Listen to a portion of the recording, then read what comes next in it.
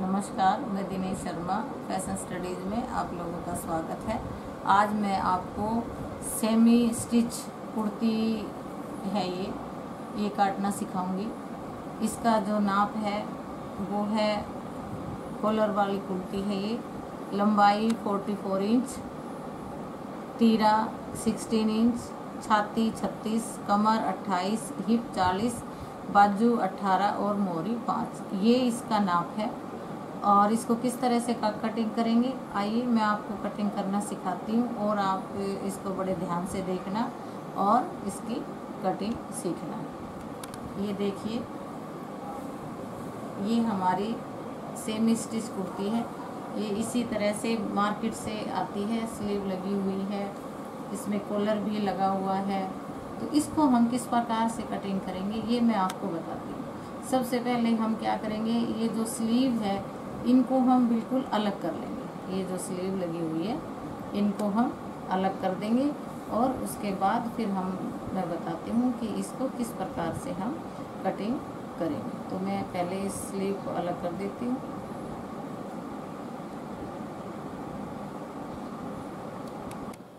अब देखिए, ये मैंने दोनों बाजुओं को अलग कर दिया है। इनको हम अलग रख देते हैं। और ये देखिए, अब ये दो पार्ट हो गए, ये बैक फ्रंट है और ये हमारी बैक है। तो हम किस प्रकार से लेंगे? एक तो दो तरीके से हम कर सकते हैं। एक तो हम इस गले को भी अलग कर दें। तब कटिंग कर सकते हैं। लेकिन मैं यहाँ गले को अलग नहीं करूँगी। इसी के साथ इसकी मैं कटिंग करूँगी। तो सबसे पहले हम क्या करेंगे? इस प्रकार से आप इस कपड़े को फोल्ड कर लो। इस तरह से। देखिए इस तरीके से आप इसको फोल्ड कर लीजिए। कॉलर भी आपका इसी में रहेगा और इस तरीके से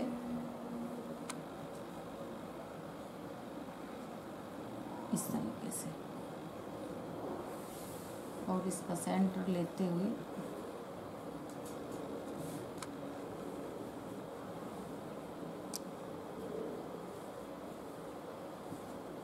इसको इस प्रकार बिल्कुल सेंटर करके इसको रख लीजिए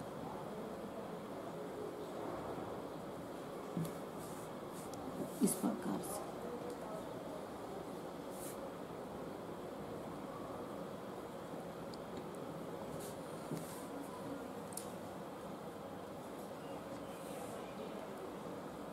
इस तरीके से आप इसको रख लीजिए। और ये जो है सिलाई से आप इसकी सिलाई मिला करके और गले से गला मिलाकर इस तर इस प्रकार से देखिए। क्योंकि रेडीमेड में बहुत सारी सिलने में गलतियाँ होती हैं। इस प्रकार, ये देखिए, मैंने यहाँ से सेंटर से सेंटर मिला लिया, ये देखो। और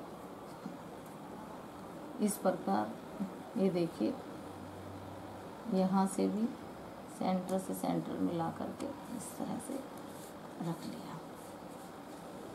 इस तरह से रख लेने के बाद अब इस हिस्से को इस तरह से कर लेंगे इसको भी इस तरीके से रखेंगे और इसका भी सेंटर निकाल लेंगे इस तरीके से। इसको इसके ऊपर रखते हुए इस तरीके से।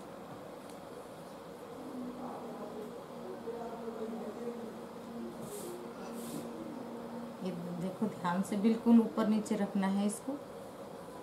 इस प्रकार। इस तरीके से। ये देखिए। इस प्रकार मैंने इसको रख दिया है। और इसको ऐसे पलट लेंगे। इस तरीके से देखिए।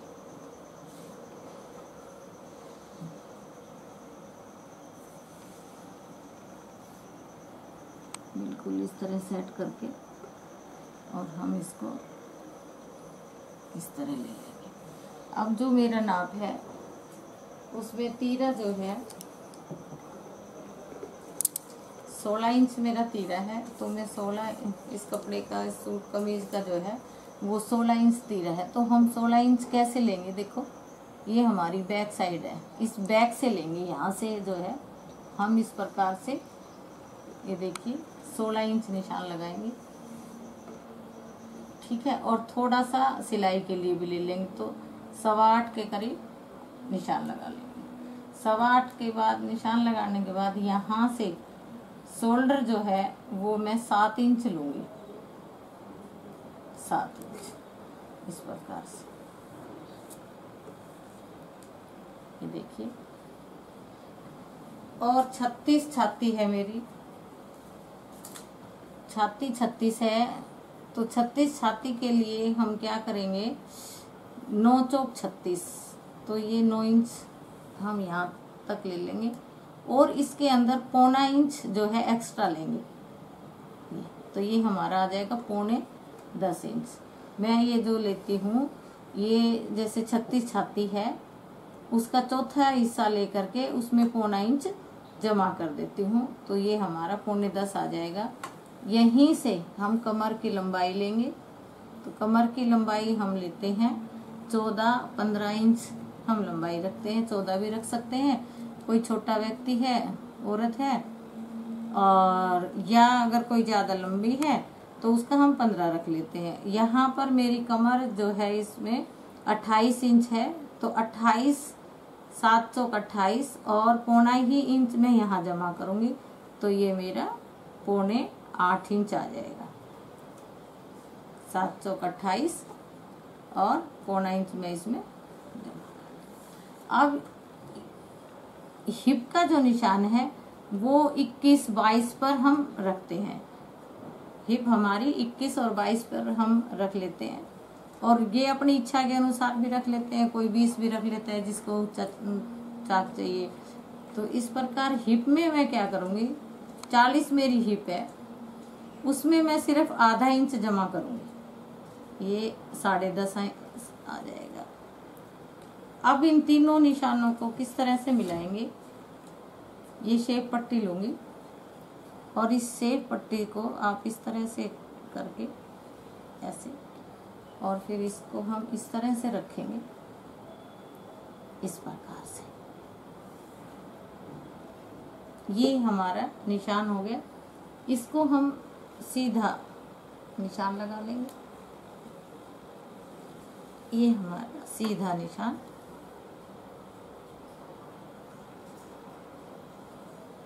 ये हमारे, देखिए, सिलाई का, फिटिंग का निशान आ गया है। मैं दोबारा से बताती हूँ, ये तीरा है। तीरा, जब भी हम कॉलर का गला बनाते हैं तो जितना तीरा होता है, उसमें आधा इंच पल्स करके तीरे की चौड़ाई का निशान लगाते हैं। आर्म होल साढ़े छ इंच मैंने रखा है तैयार। और कटिंग मैंने ये सात इंच पर कटिंग की है। इसमें मैंने सिलाई मार्जिन सात इंच के अंदर ही रख दिया है। छाती की चौड़ाई, छाती का चौथा जमा पौना इंच। किसी भी कमीज को हम सिल रहे हैं, उसका नाप जो है, अगर सही फिटिंग आपको लेनी है तो आप इसी नाप के, इसी अनुसार आपको लेना। चाहे वो अड़तीस छाती हो, चालीस छाती हो, बयालीस हो, जितनी भी कोई भी छाती हो, लेकिन आप हिसाब अगर यही रखोगे तो आपका जो है नाप, कमीज जो है बहुत ही अच्छी फिटिंग का बनेगा। तो ये छाती का चौथा जमा पौना इंच, कमर का चौथा जमा पौना इंच और हिप का चौथा जमा आधा इंच। ये मैंने सिलाई का निशान लगा दिया है और यहाँ पर ये देखिए यहाँ पर ये कोना बन गया। ये हमें कोना नहीं बनाना, इसको हमें इस तरह से गोलाई से मिला देना है। दो इंच एक्स्ट्रा लूँगी। यहाँ से डेढ़ इंच एक्स्ट्रा ले लो, यहाँ से भी मैं दो इंच एक्स्ट्रा लूँगी और इसको आपस में इस तरह से मिला दो। ये मेरा कटिंग का निशान है, कमीज़ का और ये कमीज़ की फिटिंग का निशान। यहाँ से मैं फिटिंग की सिलाई लगाऊँगी, इसको हम मोड़ देंगे। अब ये आर्म होल, मेन जो है कमीज़ के अंदर आर्म होल होता है कि हम इसकी गोलाई किस प्रकार से करें। ये देखो, यहाँ से ये एक निशान लगा लो। निशान लगाने के बाद ये डेढ़ इंच, ऐसे निशान लगा लो, डेढ़ इंच। ठीक है? डेढ़ इंच या सवा इंच भी हम रख सकते हैं। तो इसको इस प्रकार से हम गोलाई लगा दें इस प्रकार से। ये देखिए। ये हमारे बैक की गोलाई है। अब फ्रंट की गोलाई जो है, कैसे लेते हैं? इधर से आप एक इंच अंदर चले जाओ। ये मैं बहुत ही सरल तरीका आपको बता रही हूँ। कंफ्यूज वाला निशान बिल्कुल नहीं, और ना मैं कंफ्यूज करने वाली बात आपको बताऊँगी। ये देखिए, ये मैंने अंदर एक इंच लिया है। यहाँ इस लाइन से अंदर की तरफ़ एक इंच लिया है। एक इंच लेने के बाद इसको, देखो, इस प्रकार से हम तिरछा मिला देंगे, ये ऐसे। ऐसे तिरछा मिलाने के बाद और फिर इसकी जो गोलाई है, वो इस प्रकार से लेते हुए निशान लगा देंगे। ये देखिए, यहाँ से तो आधा ही, आधा इंच है। और ये इस प्रकार से आप इसकी गोलाई मिला दीजिए। और इस प्रकार से। मेन इसकी गोलाई है और इसकी भी, ये देखिए, ये मैंने, ये मेरी बैक की गोलाई है कमीज की और ये मेरी कमीज की फ्रंट की गोलाई है। फ्रंट की गोलाई मैंने आपको बताया यहाँ से एक इंच अंदर की तरफ़ लेकर के तिरछा निशान लगा दीजिए। और ये फ्रंट की, जो बैक की जो गोलाई है, वो हम यहाँ से डेढ़ इंच लेकर के और इसकी गोलाई इस प्रकार से मिला देंगे। तो ये कमीज के निशान मैंने लगा दिए हैं और आओ मैं अब आपको ना कटिंग करके और दिखाती हूँ कि किस प्रकार से इसकी मैं कटिंग करूँगी। तो कटिंग करने के लिए सबसे पहले जो है सबसे पहले ये देखो, ये कटिंग करते वक्त भी आप एक बार ये ज़रूर ध्यान दे लेना कि ये आपकी जो सिलाई है, ये वाली, ये मिलनी चाहिए। या आप यहाँ पर एक पिन लगा सकते हैं ताकि आप कटिंग करते वक्त कोई गलती ना करें। इस प्रकार से जो है, ये देखिए। अब मैं इसकी कटिंग कर देती हूँ। सबसे पहले हमें बैक की कटिंग करनी है।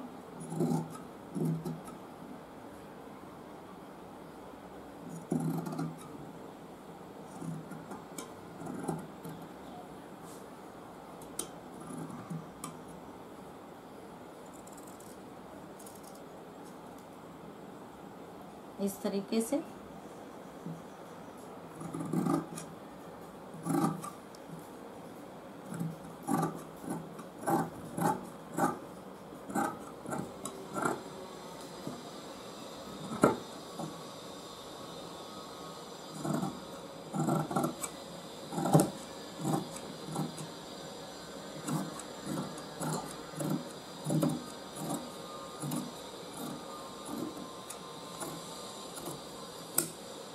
इस प्रकार से ये हमारी कटिंग होगी कमीज की अब क्या करना है? अब अगले हिस्से को उठा लेंगे और पिछले को ऐसे ही छोड़ देंगे इस प्रकार से।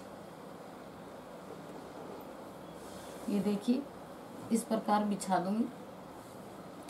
इस प्रकार आप बिछाइए और इसको ऐसे लेकर के इस प्रकार से?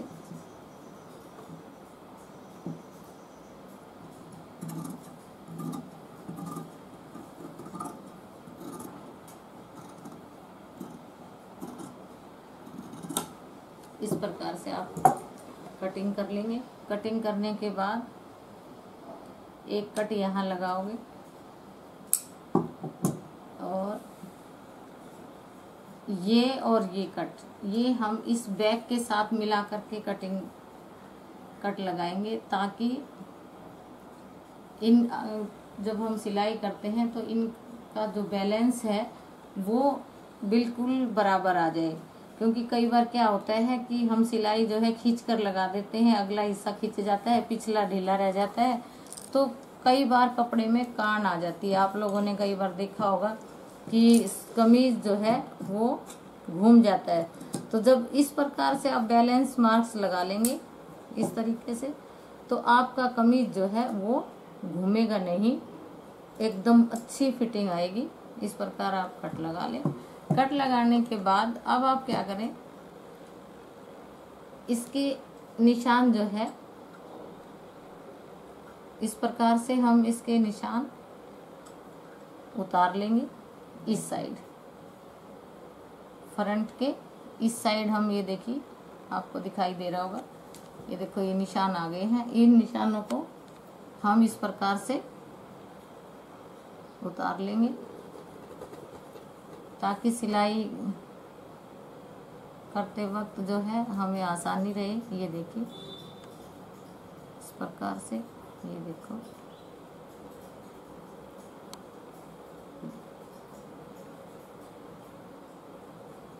ये देखिए, ये आपका, इस पर या हम इसको इस तरह भी कर सकते हैं कि पहले इस पर अच्छा सा गहरा चाक घुमा करके और इसको हम इस तरह से भी पलट करके निशान लगा सकते हैं। ये इस तरह से भी हम लगा सकते हैं।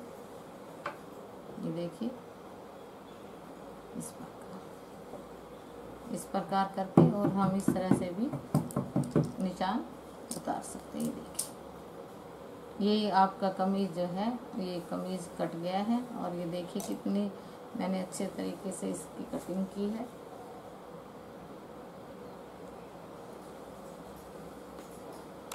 सिलाई करनी है। इसमें अब हमें कुछ नहीं करना, साइड की सिलाई लगानी है और बाजू चढ़ानी है। और ये तो मैं आपको अगली वीडियो में सिल करके भी दिखाऊँगी कि किस प्रकार से सिलते हैं। अब मैं आपको बाजू की कटिंग बता दूँ कि बाजू देखो किस तरह से लग करते हैं। ये हमारा आरम होल है। हम क्या करेंगे? ये देखिए, ये फिटिंग का निशान है। इसको इस प्रकार से नापेंगे, देखो। या आप यहाँ से भी नाप सकते हो। ये देखिए, यहाँ से साढ़े आठ आया है और यहाँ से आपका, ये देखिए साढ़े सात आया है। तो ये हमारा डेढ़ इंच है। और ये देखिए, ये सवा सात इंच है। तो यहाँ से लेकर के और हमें यहाँ तक नापना है। ये देखो। ये हमारी सवा सात इंच चौड़ाई आई है। तो हम स्लीव में भी क्या करेंगे? ये हमारी स्लीव है। मैंने स्लीव अलग कर दी थी पहले। ये देखो, इस पर अभी प्रेस करने के बाद आप क्या करें? ऐसे ही रखो। इसे रख लिया और इसको इस प्रकार से ये देखो। अब वहाँ से जब मैंने मुढ़ा लिया था तो सवा सात आ रहा था। ये देखो, ये सवा सात पूरा नहीं है तो इसमें हम जोड़ लगाएँगे। क्योंकि हमें बाजू पूरी चाहिए तो जोड़ लगाने के लिए ये जो मेरी साइड से जो कपड़ा बचा है, ये जो साइड से जो कपड़ा बचा है, इस प्रकार से मैं रख करके ऐसे रख कर, और ये देखिए, सवा सात इंच ये इतना आएगा, ये मैं निशान लगा देती हूँ। डेढ़ इंच मैंने मार्जिन रखा है, डेढ़ इंच का ये निशान आ जाएगा। इस प्रकार से, और इसकी लंबाई अट्ठारह इंच मैंने रखनी है तो मैं साढ़े अट्ठारह लूँगी। और इसको इस तरह से मोड़ दूँगी। ये मोड़ने का है और ये मेरी तैयार नाप है। ये देखिए, साढ़े अठारह। साढ़े अठारह ही मैं यहाँ से ले करके और इसको तीन इंच, बारह तीय छत्तीस, क्योंकि छत्तीस चेस्ट है तो मैं यहाँ पर तीन इंच की गोलाई दूँगी। तो गोलाई देने के लिए इधर से मैं ढाई, पौने तीन इंच ऐसे सीधा निशान लगाने के बाद, ये देखिए, और इसको इस तरह मिलाऊँगी, जहाँ मेरा फिटिंग का निशान है।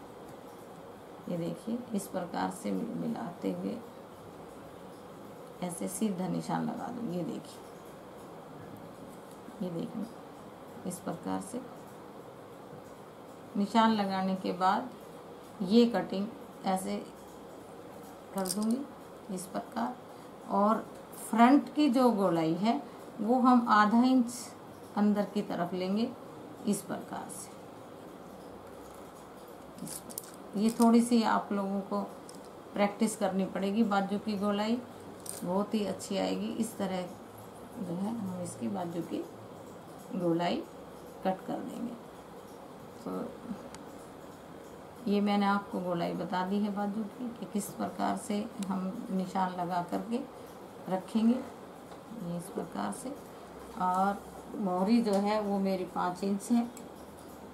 उसमें डेढ़ इंच, सवा इंच एक्स्ट्रा ले करके और यहाँ पर ये देखिए, मार्जिन के साथ मैं इसको इस प्रकार मिला लूँगी। ये आपकी इस कमीज़ की बाजू की कटिंग जो है, ये देखिए, इस प्रकार रखते हुए। पहले आप जोड़ लगा लें, क्योंकि आप दिक्कत हो जाएगी आप लोगों को सिलते वक्त, काटते वक्त। तो इसलिए पहले आप जोड़ लगा लें। जोड़ लगाने के बाद फिर आप ये निशान लगाएँ। मैंने ये साथ के साथ आपको निशान लगा के दिखा दिए हैं। और इस वीडियो को बड़े ध्यान से देखना। कोई चीज़ आपको समझ में नहीं आई है तो कमेंट बॉक्स में लिख करके मुझे बताइए, मैं आपकी समस्या दूर करूँगी। और ऐसे ही वीडियो में आप लोगों को भेज, बना करके भेजती रहूँगी। धन्यवाद।